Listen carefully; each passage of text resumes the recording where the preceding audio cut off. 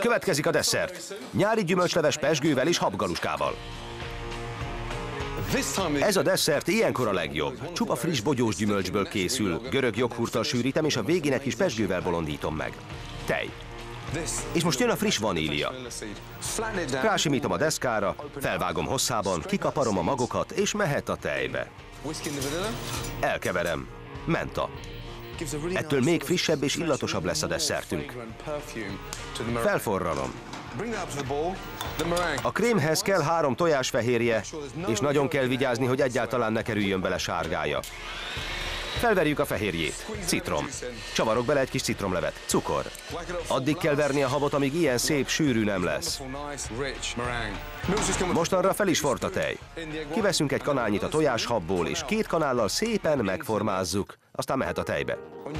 Egy keveset rákanalazunk a galuskákra, hogy ne ragadjanak össze, aztán hagyjuk őket főni úgy 4-5 percig.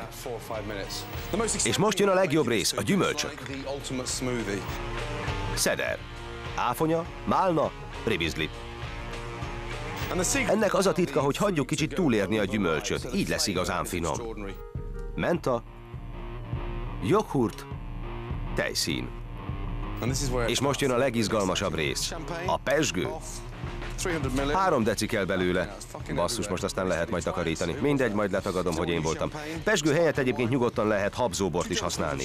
Mehet bele két evőkanál cukor, ez jól kiemeli a gyümölcsök savasságát. Ráteszem a tetőt.